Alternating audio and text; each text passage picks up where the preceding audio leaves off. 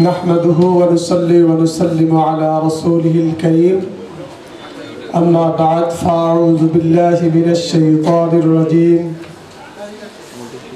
ببركة بسم الله الرحمن الرحيم সেমিনারের কথাগুলো একটু মনোযোগ দিয়ে শুনতে হয় আর সেমিনারে যে সমস্ত কথাগুলো বলা হয় কথাগুলো অত্যন্ত গুরুত্বপূর্ণ এবং তথ্যবহুল। আলহামদুলিল্লাহ। সম্মানিত শ্রদ্ধেয় স্যার প্রফেসর জনাব আক্তার। উনি স্যার অত্যন্ত সুন্দরভাবে একটা মানুষের জীবন কীভাবে পরিচালিত হবে একটা মানুষের লক্ষ্য উদ্দেশ্য কি হতে হবে তিনি কোরআনুল করিম রিসার্চ করে উনি বাংলা ভাষায় রিসার্চ করেছেন। কিন্তু উনি যে আয়াতে কারিমাগুলা বলেছেন প্রত্যেকটি সত্য আলহামদুলিল্লাহ। যারা অ্যারাবিক লাইনে লেখাপড়া করছে, এরা হয়তো আরবি, এবারত পড়ে, তারপর বাংলাটা বলে কিন্তু স্যার বাংলাটা বলছেন, কিন্তু কথাগুলো সত্য এবং উপলব্ধিপূর্ণ।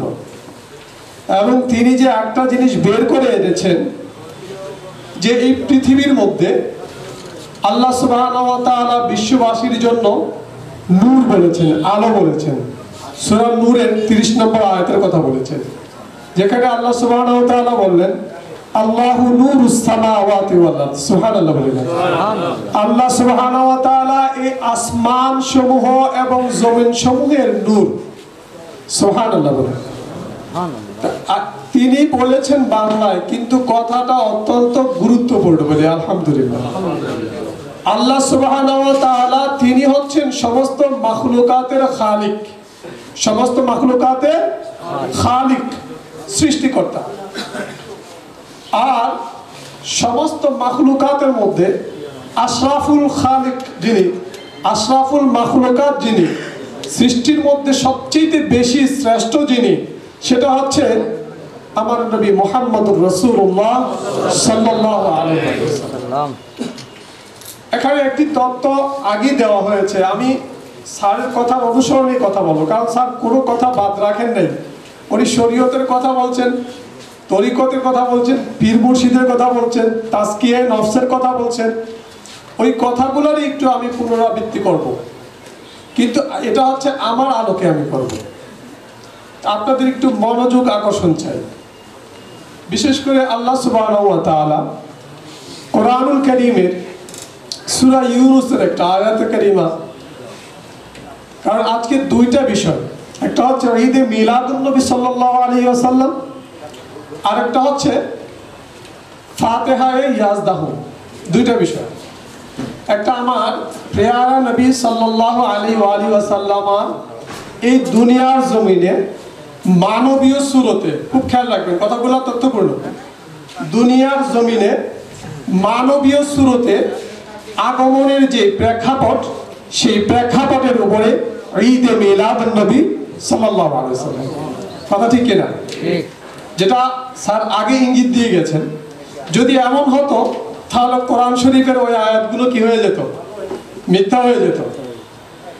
কারণ এখানে যে প্রেক্ষাপট ছিল আল্লাহ তাআলা প্রিয় নবী সাল্লাল্লাহু তাআলা আলাইহি ওয়াসাল্লাম নূর মোবারক রূহ মোবারক গুলো আলাদা আলাদা ভাবে সমস্ত মাখলুকাতকে বানানোর পূর্বেই সৃষ্টি করেছেন বলি আলহামদুলিল্লাহ।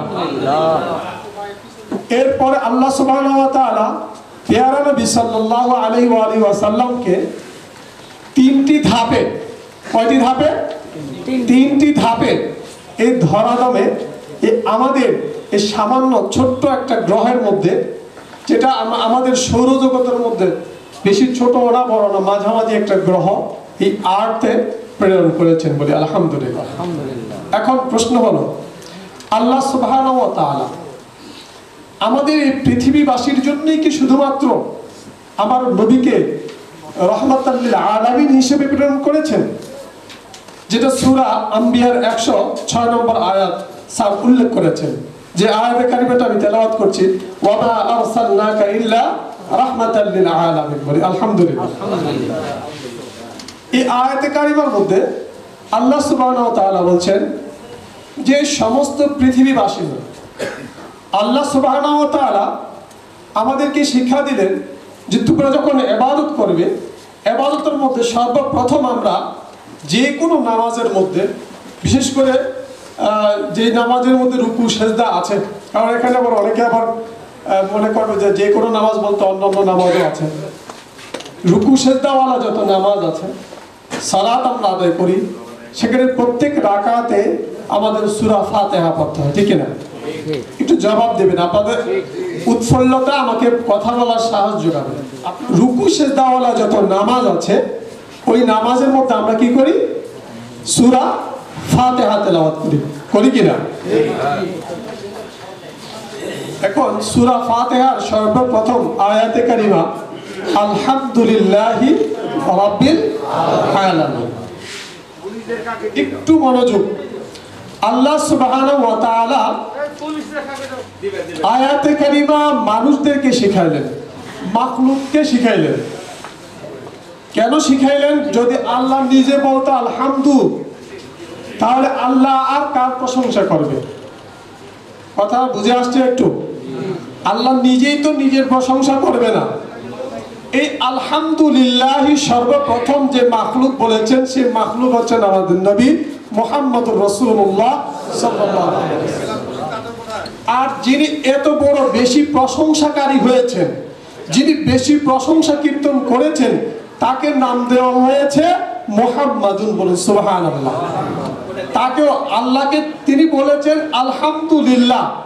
সমস্ত যাবতীয় যত রকম প্রশংসা আছে সমস্ত প্রশংসা আল্লাহ সুবহান জন্য বলুন সুবহান আর আল্লাহ সুবহান এই প্রশংসায় প্রশংসিত হয়ে তিনি এই প্রশংসিত হওয়ার জন্য আরেকটা সত্তা তৈরি করে তাকে প্রশংসিত করে দিলেন।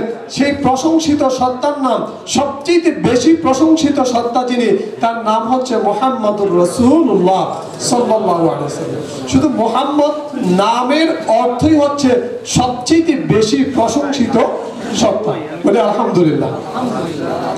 সম্মানিত শুধু এখানে একটি কথা বলার ছিল, সেটা হচ্ছে আল্লাহ তাআলা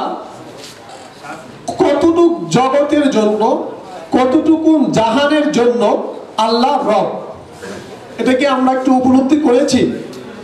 আমরা কি কিছু চিন্তা করেছি এই ব্যাপারে? একটু কথা বলেন। আমরা এ ব্যাপারে চিন্তা করি নি আল্লাহ তাআলা জানিয়ে দিলেন যে আমি হচ্ছি রব্বিল আলামিন। যে যতগুলো জগৎ রয়েছে, একটা নয় আমি আপনি জগৎ বলতে শুধু শুধু পৃথিবীকে নয়, এটার একটু ব্যাখ্যার দিকে যাওয়ার চিন্তা ভাবনা করব। সেটা হচ্ছে, আমরা যে জগৎটাতে আছি, এই জগতের নাম হচ্ছে পৃথিবী। একটু কথা আওয়াজ দিবেন, ঠিক কিনা? এই পৃথিবী আমাদের সৌরজগতের শুধুমাত্র একটা সামান্য গ্রহ। তাও খুবই ছোট।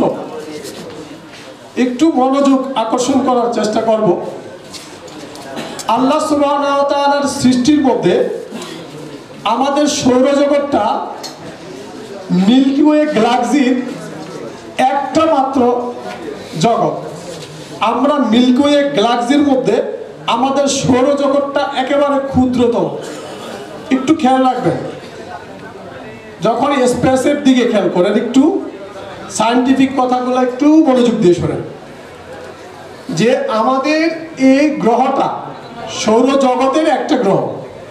আর আমাদের সৌরজগৎটা মিল্কি ওয়ে গ্যালাক্সির একটা অংশ।